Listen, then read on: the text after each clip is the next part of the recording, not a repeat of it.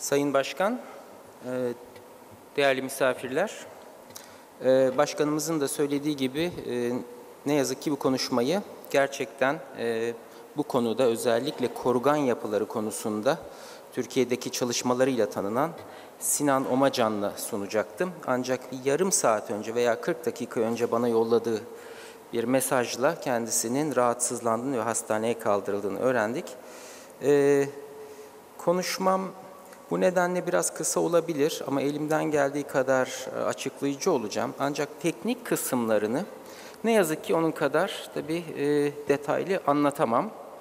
E, kendisine buradan şifalar diliyorum. Ayrıca bu organizasyonu düzenlenmesinde öncü olan Cumhurbaşkanlığımıza saygılarımı sunuyorum ve emeği geçen herkese tekrar teşekkür etmek istiyorum.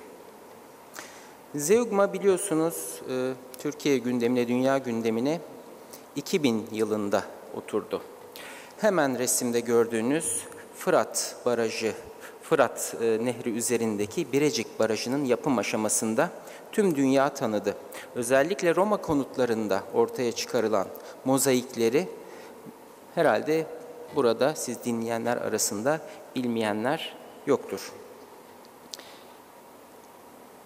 Zeugma esasen karşılıklı iki kent olarak kurulmuş önemli bir Helenistik yerleşme. Batı tarafta yani Fırat'ın batı kıyısında bugün Gaziantep ili sınırları içinde yer alan e, yerleşimin adı Selevkeya, Urfa toprakları üzerinde yer alan, alivyon bir e, dolgu üzerinde yer alan kentin adı ise Apameya'ydı. E, kentin önemi sadece Helenistik dönemlere dayanmıyor e, tamamen Mezopotamya'ya giriş kapısı niteliği, niteliği taşıyan bir kent. Bu nedenle medeniyetler boyunca e, bir geçit noktası olmuş durumda. E, burada gördüğünüz e, haritalarda e, tüm antik yolların bu kentte kesiştiğini görüyorsunuz. Bu nedenle e, hemen hemen gerek Helenistik e, krallıklar için, Roma İmparatorluğu için çok önemli bir sınır kenti. Biliyorsunuz özellikle Roma İmparatorluğu'nda Trajan dönemine kadar Fırat Roma İmparatorluğu'nun doğudaki ana sınırını oluşturuyordu ve karşı tarafta Roma'nın düşmanı sayılan Partlar, Persler yer almaktaydı. Bu karakteri kente e, bir şekilde askeri bir kimlik de kazandırdı. Biz milattan sonra 1. yüzyılda kentin Romalılaşma süreci içinde kentte e, Roma lejyonlarının konuşlandığını biliyoruz. Bu lejyonlar bizim için önemli. Kentin Roma döneminde nüfusunun çok arttığı bir dönem bu. E, ve bununla birlikte kentleşmenin de en yoğun görüldüğü dönem olarak karşımıza çıkıyor. Burada gördüğünüz kırmızı noktalar e, Zeugma'nın ve e, Zeugma olarak milattan önce 1. yüzyıldan itibaren adlandırılıyor. Zeugma'nın anlamı köprü, geçit e, anlamı taşıyor. bulunduğu, konuş, konumlandığı noktayı görüyorsunuz. Evet, 2000 yılında Birecik Barajı'nın yapımıyla burada yine görselde izlemeniz mümkün, alttaki görselde. koyu renkli görünen kısım Fırat'ın baraj öncesi e, sınırlarını ve genişliğini gösteriyor. Barajdan sonra barajın gövdesini görüyorsunuz. Hemen hemen e, Zeugma antik kentinin ve Apameya antik kentinin bunlar karşılıklı iki şehir. Büyük Apameya'nın tamamı sular altında kalıyor. E, Zeugma'nın ise kıyı şeridinden oldukça büyük bir bölüm sular altında. Ancak bugün hala Selevkey olarak adlandırdığımız e, Gaziantep ili sınırları içinde kalan yerleşim görülebilmekte. Evet, e, bu görselde kurtarma kazılarında Roma konut alanları özellikle bizim doğu sektörü, doğu konut sektörü olarak adlandırdığımız evleri görüyorsunuz. Bunlar bitişik nizamda yapılmış. Bugün hala Gaziantep'teki eski taş evlerin planlarına benzeyen avlulu ve avlu etrafında odaların yer aldığı oldukça büyük konutlar. E, bu Konut ne yazık ki şu anda sular altında. E, Poseidon ve Eufrates evleri olarak adlandırılan e, konut bunlar.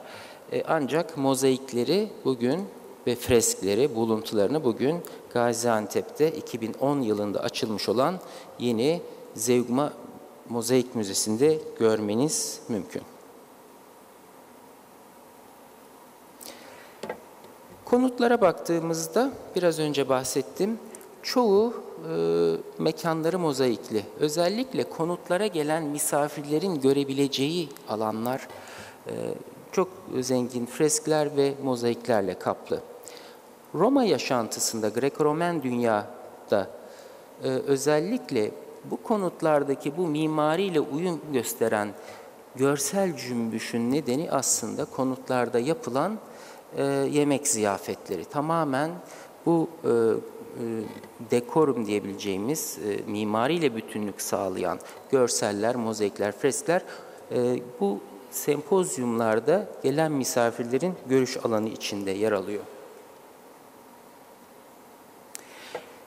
Bizim yaptığımız e, çalışmalarda e, kentin e, bir planını oluşturduk. Bu tabii onun temsili resmi. Fırat Nehri'ni görüyorsunuz. Karşıda Apamea ve surları. Her iki kent birbirine bir köprüyle bağlı. Kentin Helenistik agorası, e, ikinci agorası Roma döneminde genişleyen kentin tabii ki ikinci bir agoraya ihtiyacı var. E, tiyatrosu, stadyumu ve Roma döneminde genişleyen kentin sur duvarlarını görmektesiniz. Daha önceden Helenistik dönemde kurulan kent ise e, bir surla çevrili ancak genişleyen Roma kenti içinde bu sur, bu sur kaldırılmış ve sadece izlerini görebilmektesiniz. Ve kentin en önemli yerlerinden bir diğeri de kutsal alanın bulunduğu Belkıs Tepe. Burada da özellikle Komagene e, krallığına ait o dönemde yapılmış çok önemli bir e, kutsal alan, tapınak ve kült heykellerini bulmak, görmek mümkün.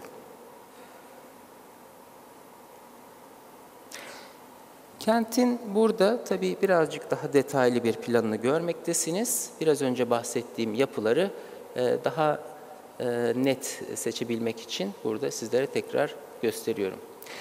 E, burada kırmızı olarak gördüğünüz alan konut alanları yani Roma dönemi yapılmış evlerin, kent yaşayanlarının hayatlarının geçtiği konutların bulunduğu alanlar.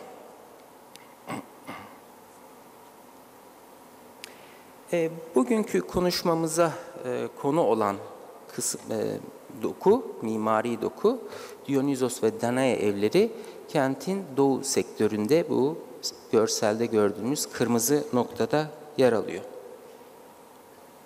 2005 yılında Zeugma Arkeoloji Projesi e, daha önceden Gaziantep Müzesi tarafından yapılan kazıların statüsünden çıkarılarak Bakanlar Kurulu kararlı kazı statüsüne alındı ve Sayın Başbakanımızın 23 Haziran 2005 yılında katılımıyla burada uzun e, programlı ve uzun süreli e, bilimsel kazılara başlatıldı.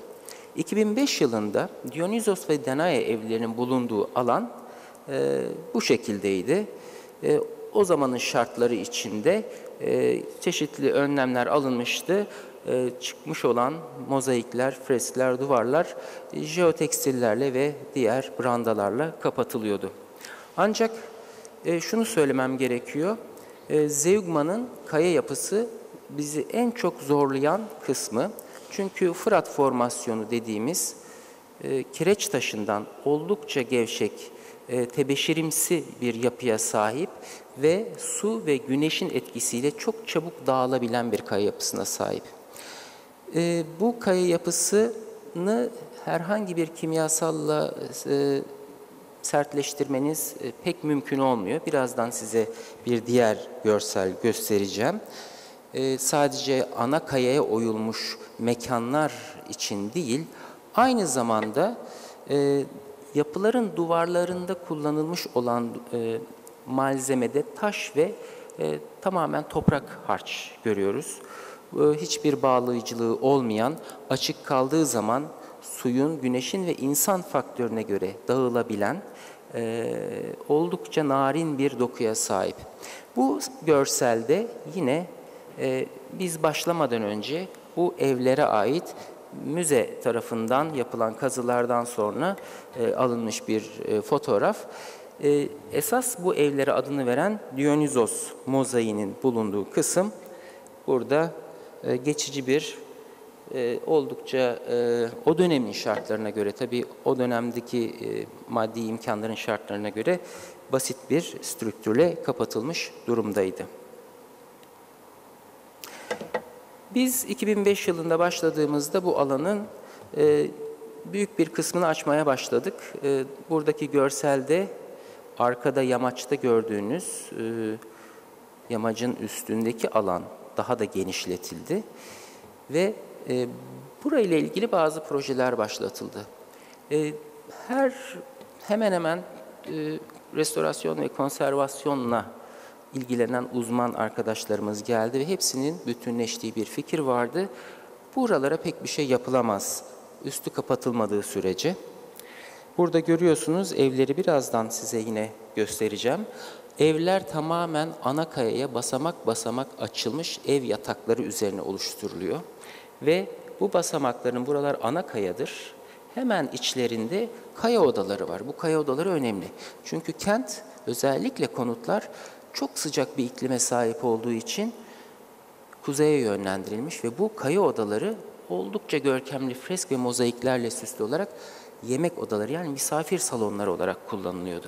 Ancak bu kayalar eklemli bir yapıya sahipti ve e, sadece güneşin ve yağmurun etkisiyle değil, açıp bıraktığınız zaman o sıcak havanın verdiği etkiyle de bu eklemler üzerinde hareketlenmeye başlıyordu ve çok ağır tavanları olan ana kayadan yapılmış tavanları yavaş yavaş hareketleniyordu ve bu da oldukça e, tüm e, doku için e, bizi endişelendiren bir durumdu. Evet burada açılan alanı biraz tarif edeceğim. Ne yazık ki e, teknik e, yapısıyla ilgili çizimler ve görseller Ömer Bey'in, e, e, Sinan Bey'in e, sunumunda kaldı. Burada size kendisi sunumunu getirip e, benim sunumumun arkasına ekleyecektik. Ancak e, bu mümkün olmuyor. E, çok kısa bir süre olduğu için de e, ne yazık ki bunları size gösteremeyeceğim ama sadece bu resimden tarif edebilirim. Aşağı yukarı e, buradaki konutları tarif etmek gerekirse konuşmamın başında e, bitişik nizamda yapılmış konutlar olarak bahsettim. Bunlar belli bir parsel üzerine oturuyor, inzula dediğimiz ve burada 6'ya yakın birbirine bitişik nizamda yapılmış evler var.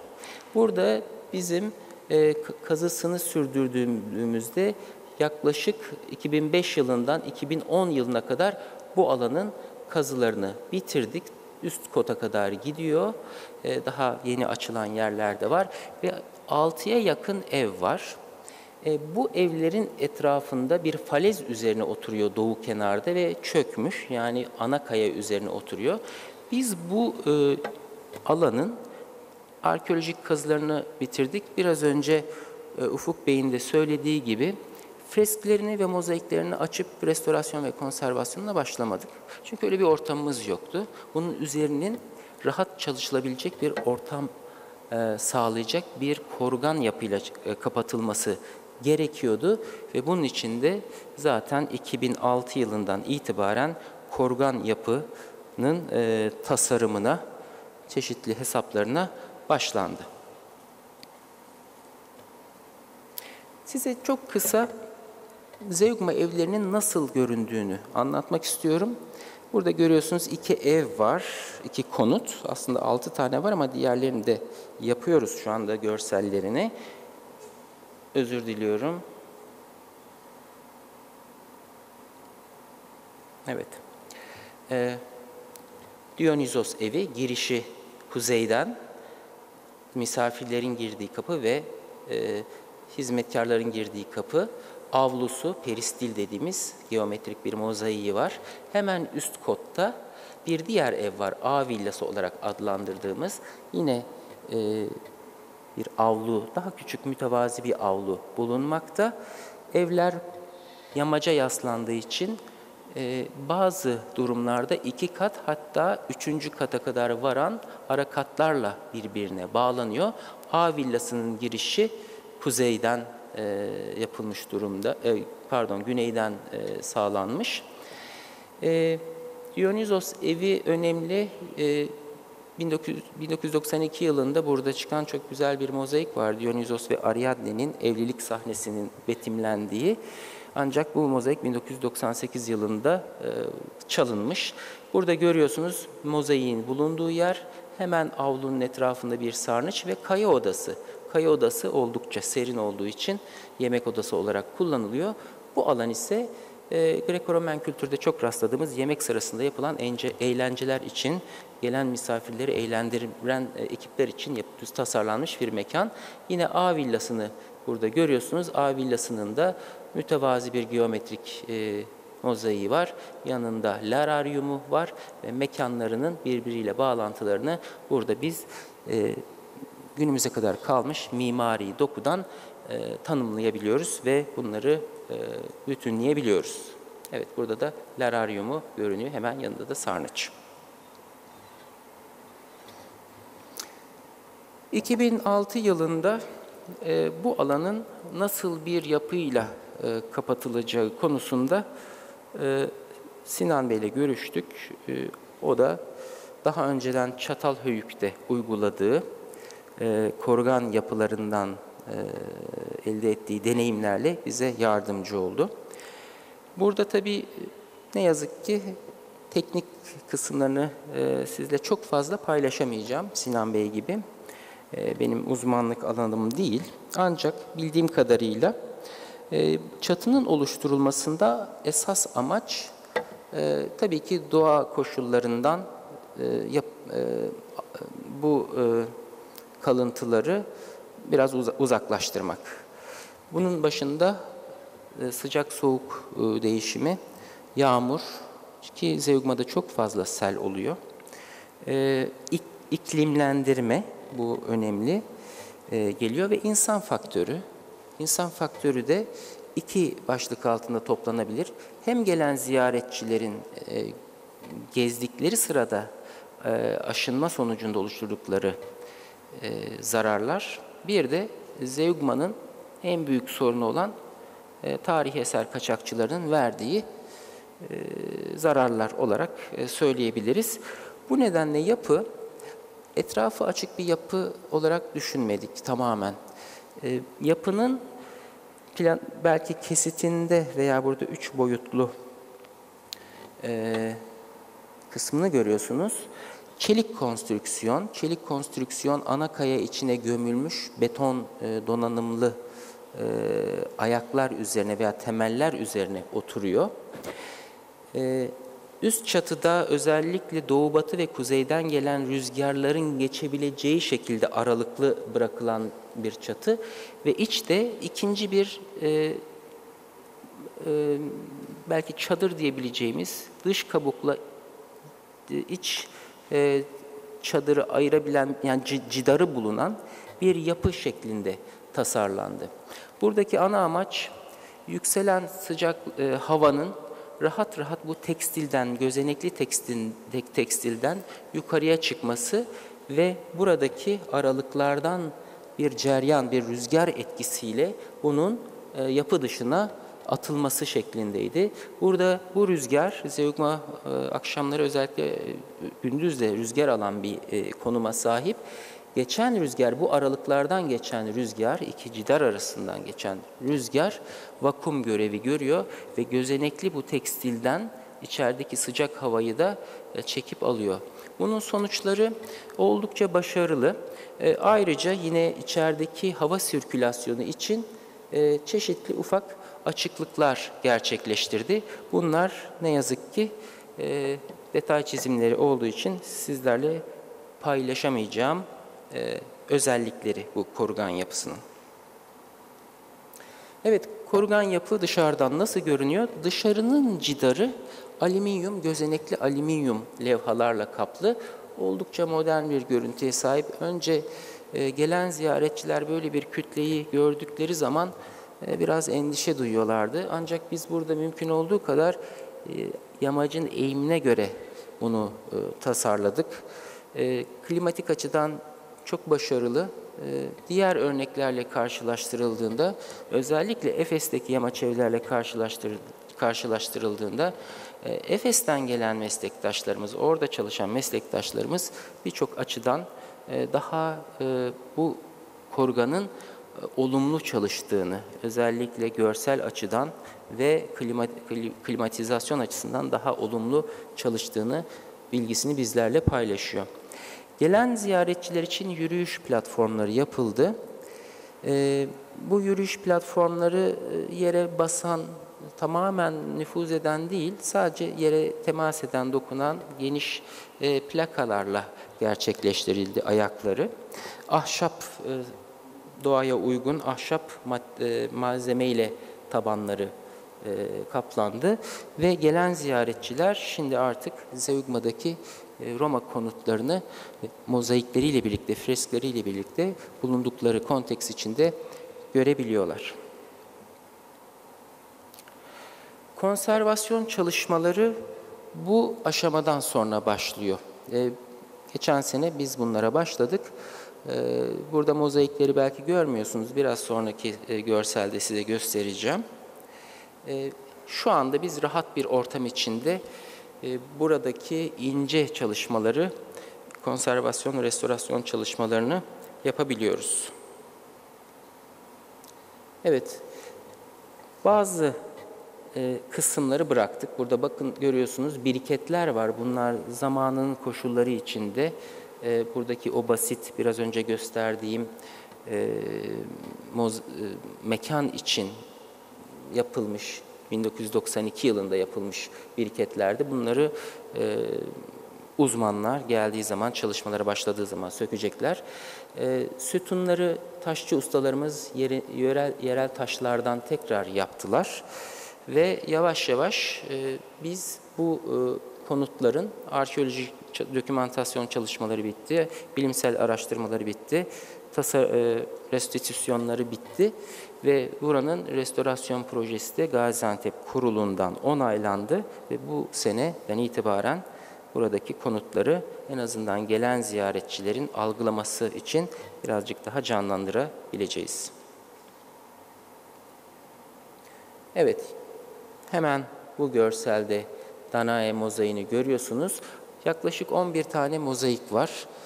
Ee, 11 mozaiği burada gelen ziyaretçiler e, görebilecekler. Evet, bu da A villasının korunmuş olan e, lararyumu, sarnıcı. Biraz önce üç boyutlu tasar, e, görselde görmüştük animasyonda ve geometrik avlusu. Evet, e, ne yazık ki bugün sizlerle elimde olan e, görsellerle paylaşabileceğim bilgiler e, bundan ibaret. E, ama eğer vaktiniz olursa Zevkma'ya geldiğinizde yazın biz oradayız. Çok daha detaylı bilgiler verebilirim. Teşekkür ediyorum.